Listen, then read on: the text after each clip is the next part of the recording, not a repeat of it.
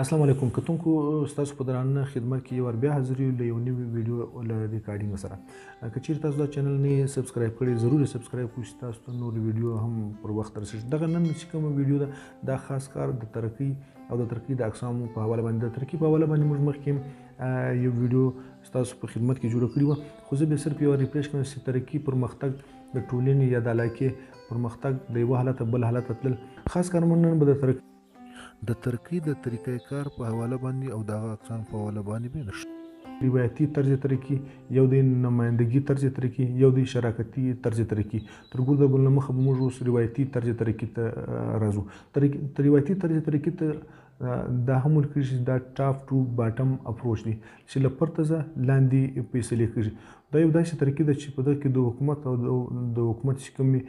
خپلې محکمې دي هغه د دغه ترکیب مطابق خپل ضروریات خپل مشکلات منصوبه سازي او پر منصوبه باندې باندې دوی عمل اختیار لکوي په دغه ترکیب کې چې کوم وسایل وي هغه هم حکومت محکمې ورکوي او د عمل درآمد هم د حکومت لخوا کېږي او کوم چې ضرورت وي هغه هم له پرته خوازه چې دوی له هغه ځای کې فیصله کوي چې ستاسو لپاره د دغه شي ضرورت دی په دا کې د عام خلکو یو مداخلت نه وي د دغه بعد راځي نمایندګي طرز طریقې دا یو داسې طریقې ده چې په دغه طریقې کې چې زموږ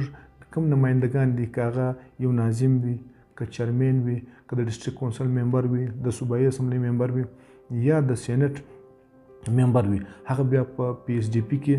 خپل سکیمان اچي د دغه پی ایس ډي پی د سکیمان د منځوري بعد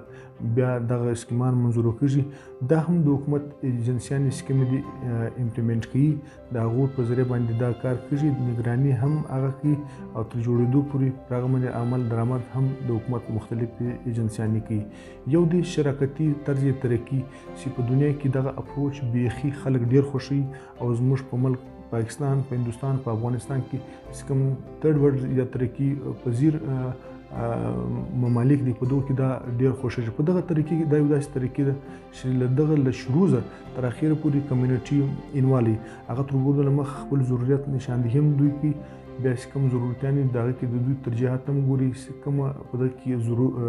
ضروري ده او له دغه سره سره چې کوم د دوی سره موجوده وسایل دي د هغو نشاندهي هم دوی کی بجټینګ هم دوی کی او دوی په دا ګرد عمل کې تر اخره پوری بیا چې وي هغه پکې انوالي دغه ذمہواریان هم د دوی وي د جوړېدنګ هم او خاص کر په دغه طریقې کې چې کومه منصوبه په دغه کې د کلیوالو خپل یو برخه یو ویسا هم وي دغه طریقې چې وي دا ډیر پایدار سسټینیبل وي ولې چې په کوم کې واقعي هم چې کوم یو سړی یو مریض ډاکټر ته لاړ شي که ډاکټر ته مریض خپل حال نه کوي نو ډاکټر کله هغه خواز د هر څور د ګولیانو د دواو ټکان پر وکی یا یې ورکي هغه ډوز چې کم ټیم د دم مرز معلوم نی نو هغه نشي ښه ثابت کېدلی نو چې کم ټیم مریض په خپل کمیونټي یو مریض دا غو مسله و دوی ته معلومه ده چې کم ټیم دوی په خپل خپل مسله وروشي مسلې خو ډیر دي بیا په هغه مسلو کې دوی یو خاص مسله راوخی بیا د هغه لپاره منصوبه بندي هم دوی وکړي چې کوم د کلي وسایل دي هغه هم دوی په کار لري خپل حصه هم په هغې کې واچي نو دا بیا پایدار وي کله کله په کلي کې مسله یو وي مګر په روایتي طرز ترقي کې مسله د سکول غي لا خو راځي د غویو د هسپتال غه هلته په کلي کې دغه ضرورت نه وي یا په نمايندګي طرز طريقي کي مسئله د اوبو وي، لا رضاګي راځي د يو سکول کار کښي، نو په شراکتي طريقه طرز طريقي کي دا وي چي په دغه کي مسئله هم د کلي مسئله معلوموي، هم کليوال کميونټي هغه خلک او د هغې بيا چي کوم ذمه دارياني دي د هغوی کي چي کوم د کليوالو برخه ده او په هغه کي بيا د دوی خپله حصه وي او ديکبال هم دوی کوي، په جوړښت کي په منصوبه بندي کي دا دوی ګرد په دې کي شامل دي. د شراکتي طریقه کار ډانچه څنګه وي د وسایلو تجزیه چې وي هغه کمیونټي په خپله کې وي د ضروریاتو ترجیحات کمیونټي په خپله کې منصوبه سازي دوی جوړوي مطلب په دا کې له فاینانشل زیواخې تر جوړولو پورې دا ګرد هغه کلیوال په خپل کې د ګردو خلکو په دای کې شمولیت وي ذمہ داریان به باقاعده تقسیم کړي ستبې نگراني کې تبې د اقبال کې ته به له لیبر سره ته به څوک به د کلي چې کوم څه د هغه به راټولوي او له دغه سره سره زیات کار په شراکتي طریقه کار چې کوم ډانچه ده په هغې کې په مقامي وسایل باندې ډېر ان ایس آر کېږي مستري د هغه ځای استعمالېږي ریت د هغه ځای استعمالېږي خار د هغه ځای استعمالېږي نو دا چې کوم د دغې طریقه کار ډانچه وي د دغه اهمیت هم په دغه غیر شراکتي طریقه کار فواید هم ډیر اهم وي دا د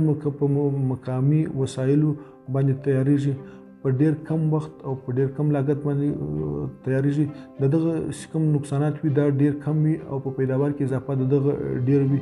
د ګردو خلکو په دا کې شرکت وي اختلاف په دا کې نه وي او چې کوم